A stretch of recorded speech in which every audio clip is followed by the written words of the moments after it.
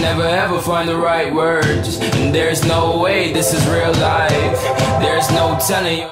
What's up guys, welcome back to the show, welcome back to another video, and today we actually are gonna do uh, an exhaust system. So I got this Valvetronic for the 650i, and it was supposed to be for the 650i, but then things happened, a buyer came up for that car, and I found somebody selling this F10, and I reached out to Valvetronic, and they said, hey, it actually might be better for this car anyway. So, what we do have here is a Valvetronic exhaust for this car. So I'm gonna show you guys a few clips before, and then we're gonna go ahead and put in the Valvetronic and see the after. This basically only has a muffler delete already. So a Valvetronic can basically go from muffler delete to pretty much nothing. So there's gonna be no drone, and when there is a muffler delete, there isn't gonna be any drone either, which is super nice. So let's just go ahead and hear uh, how it sounds before. You guys a few revs real quick.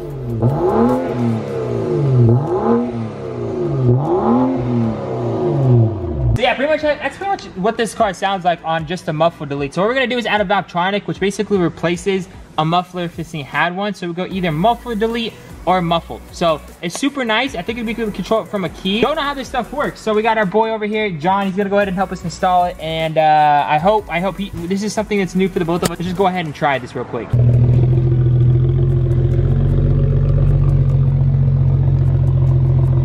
Guys, check out the halos. Oh my god, these headlights, honestly, I love them a whole lot more than the 435. This is no actual like yellow things. They're just pure white. Looks so much better. Anyhow, full body kit coming soon. Let's go ahead and get this car up and get that exhaust out. Let me show you guys what we have in the box. Yeah, guys, here's the Valvetronic exhaust. Two mufflers, sound system, remote. I mean, not sound system. the remote controller for it. And we also have the two tips over here in that box. So uh, without further ado, let's go ahead and crack this sucker open. I don't even care, bro.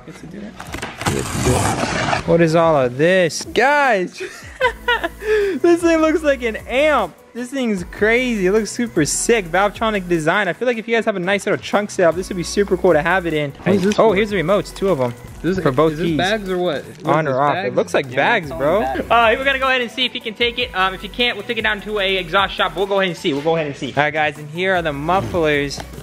Cracking that little sucker open.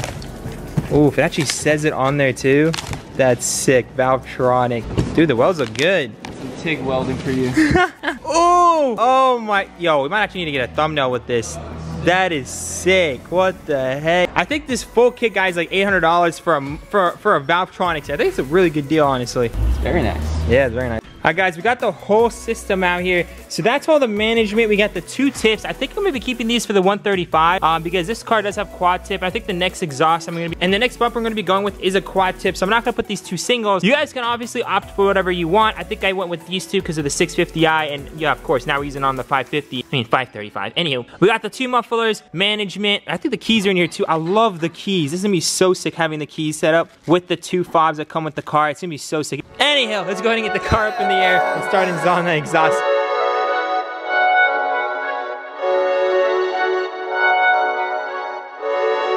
Yeah, yeah, yeah, yeah, yeah. Ay, coming in, yeah. Flex, I just wanna win, yeah. All right, guys, looking at the car. So we're gonna have to see how this shit works, honestly. Kind of confusing. Super clean down here. I guess that's what happens when you get a clean title owned by an older person because, uh, guess you see, there's no oil leaks on this car. I'm actually really, really happy with this. Like, wow. This is pretty nice to me right now. This thing was mostly serviced at the dealer, so again, getting a clean tire with low mileage probably is a good move. Thing is, it probably should have got a pre-purchase inspection, but for me, I always feel like, hey, you know, it's life. If it's meant to be, I have a piece of shit car, it's meant to be. If it's meant to be a good car, it's meant to be a good car. That's just like my logic. I don't know if you should follow that, but that's what I do, you know? Anyhow, let's go ahead and uh, start looking to the exhaust and see where we're gonna cut this and fit this.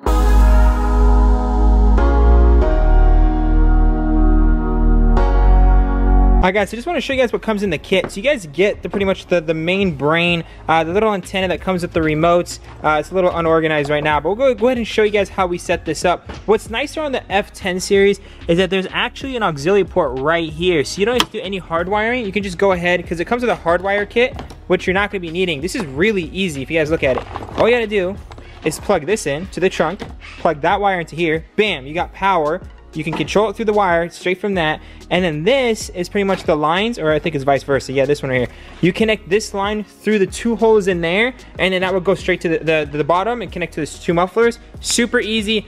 All you gotta get, all you gotta get done at the shop is let them weld this professionally, and then uh, you're gonna wire and all that stuff. So John's gonna go ahead and take off the, the trunk liner and uh, show you guys pretty much how he's gonna route it. I will show you guys the way we're doing it on this car. You guys obviously put it in different locations in your trunk, but we're gonna show it right here because I think right there it's gonna be super sick. I think this box is really, really well done. So shout out to Valvetronic. This looks sick. Oh damn, that's where that connection is. That is crazy, dude.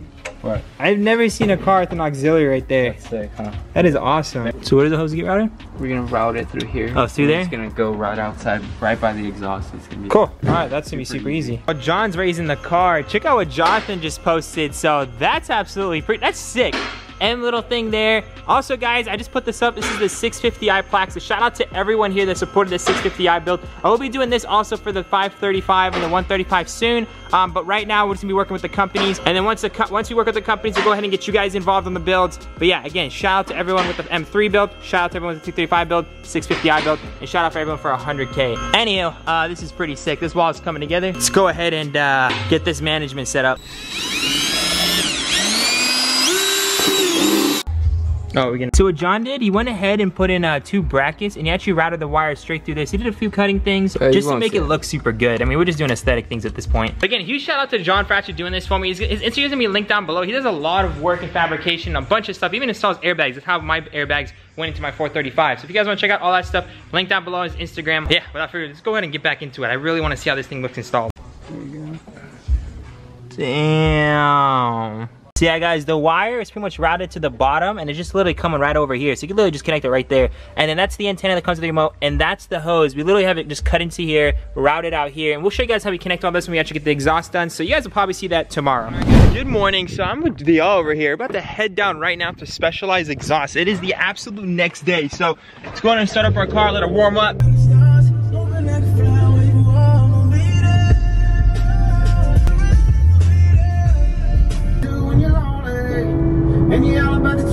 Alright guys, here at Specialized Exhaust. I heard some of you guys actually coming down here to get your exhaust work done. So yeah, they're the ones that made my 328i and my 330i from like two tips on one side to one tip on each side. You do have to come in with small tips. One of you guys apparently came in with big tips. That's not gonna work. You have to come with two small tips, FYI. Okay, so I've already had my Chipotle and uh, we're just waiting right now for them to call me back to pick up the 535. So I guess we're just gonna be also waiting on the truck to deliver the parts for the 535. I guess while waiting on uh, the tow truck to get here and a call from the exhaust shop, let's just work out, you know? Try to get uh, try to get these gains going, you know what I'm saying? Alright guys, parts came in for the F10 boys. Choo choo! Alright guys, so shout out to them. The hood is finally here from Suvneers. I'll show you guys this hood hopefully soon. Um, but let's head out and just go check out what's going on with the F10. I hope the exhaust is done. Alright guys, got my protein shake. Let's take the 435 and pick up the 535, boy.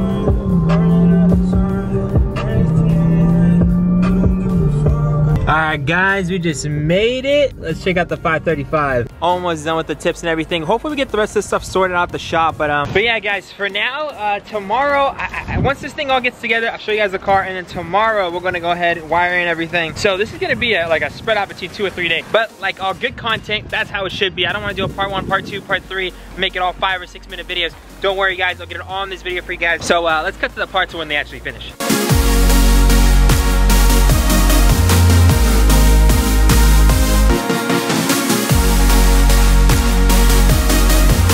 Just got the Valvetronic tips installed. This should sound super quiet. Was it quiet? It should sound like a Prius right now. Yeah. So once we get the valves open tomorrow, it should sound a lot better. But yeah, blue tips. I already say Valvetronic. I think these are super sick. Once we get the bumper, all, he cut into the bumper. I don't know why, as you guys can see right there. So all that's gonna get situated when we get the new bumper on. Uh, but yeah, my brother's gonna go ahead and start it up. it's so quiet. Hopefully tomorrow, which is actually in the same video, we're actually gonna go ahead and just put in the vacuum line to control from the remote, and you guys should be able to hear it on and off. So without further ado, I'll go ahead and see you guys tomorrow. All right, guys, so we are, this is officially day three. Um, so we're actually gonna head down to the shop and fully install the exhaust now. But on the way there, I don't know if you guys noticed this crack that was here. I probably in the beginning of this video, I mentioned how I cracked my windshield. So I'm actually heading down to finally set an appointment. That's today. Let's go ahead and get this windshield repaired. I'm hoping this is repairable, at least mostly. I guess we're about to find out. So let's head down. I'm, I don't wanna be late to my appointment, so let's just head out. Just made it to Safelite Auto Glass. Let's go ahead and see if uh, this thing can get better. So yeah, here's the before.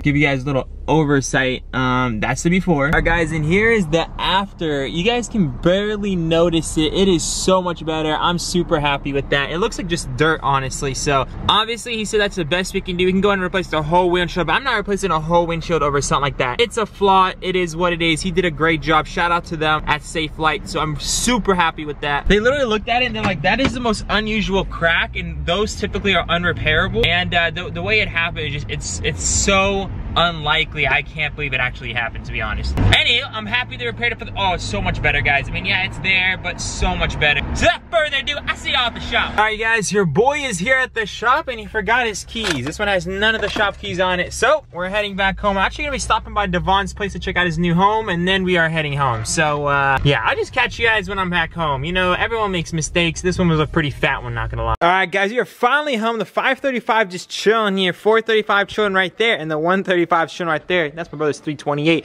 But anyhow, right now let's go ahead and get the car up, show you guys the new exhaust system and pretty much how they set it up, what exactly they welded, and what we're gonna be doing to install the actual remote to get it to work in this video as well. All right guys, we're gonna pop open the hood. I mean, technically the trunk. We got the jack stands there. We got a lot of mods in the trunk. Anywho, car is jacked up on two jack stands. I'm actually gonna leave the jack right there as well. Why not for some extra support? Let's go ahead and take everything out of the trunk and show you guys how we're gonna go ahead and set this up. All right, guys, let's go ahead and just remove the carpet real quick. Guys, this looks so professional. So we do have this unplugged. I don't wanna plug it in just now since we don't actually have this the system hooked up. But once we hook up the system, we'll go ahead and plug it into the outlet right here in the trunk, which is super convenient. Anywho, this looks so good, just chilling there. Oh my God, that is beautiful Valvetronic design. This is the entire hose. It actually comes with so much more than you need, just in case you want to put this somewhere that's closer to the fuse box or whatever. But we're gonna put it back right back here, right next to the battery, right next to the exhaust system. So we're gonna be cutting a hole right there. I already cut a hole right there. And I'm just gonna go ahead and route the route the tube straight through there. So I'm going to show you guys what I mean by that. You see this piece right here? I'm gonna go ahead and just put it right in that hole right there. Let me go ahead and do that real quick. basically made a slit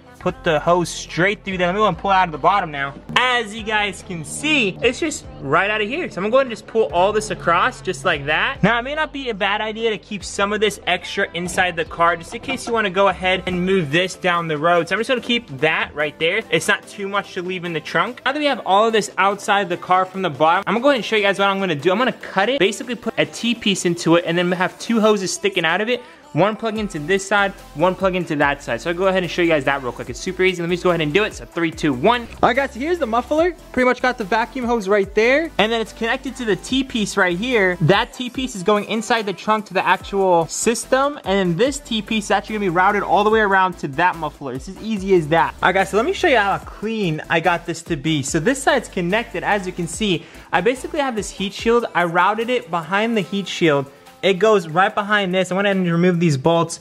And as you guys can see, it's routed from behind here, wraps around to the T-hook right there. And that side is connected to this side and uh, it goes up into the trunk. I mean, from right there. So that is absolutely perfect. Now what I'm gonna go ahead and do is just go ahead and zip tie this up right here just to make sure it's not going anywhere. And other than that, um, I think we just need to get some batteries in the remotes we are good to go. So before we go ahead and lower the car, check out the mufflers. These look so sick, absolutely insane, great quality. Here's the other side with the tip.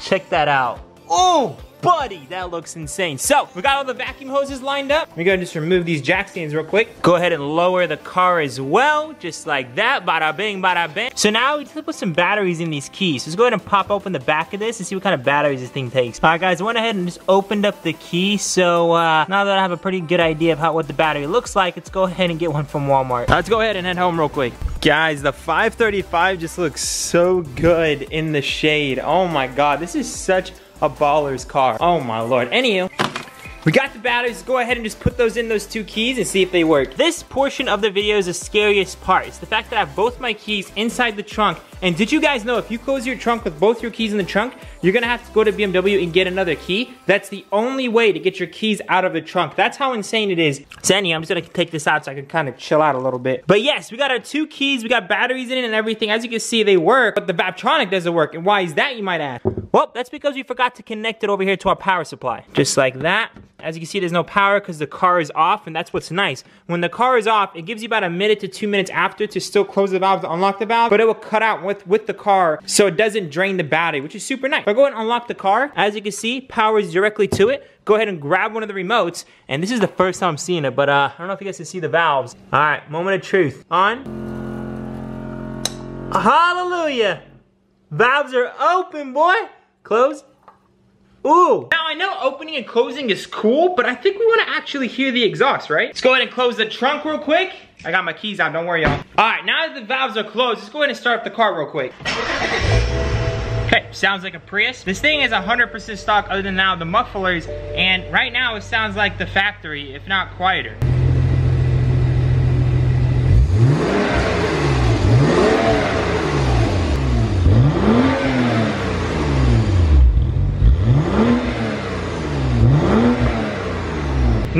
Actually hear the sound within the car. I have to see how it is off camera. There isn't any pop, but the car is noticeably louder. So it is a tiny bit louder, nothing too crazy. But that's how this car sounded without a muffler. When we had the muffler delete, it didn't sound like anything. So what we're gonna have to do next is add an intake, and I think that exhaust is gonna sound a whole lot better. Plus the tune. The tune is definitely gonna make it sound a whole lot better, that's for sure. So anyway, the car is shown right here. I'm gonna leave it on while I was revving it. I kinda wanted to just warm up for the day. We're gonna be doing a whole lot more testing with this Valvetronic. You guys saw the Valvetronic number 435. It sounds absolutely insane.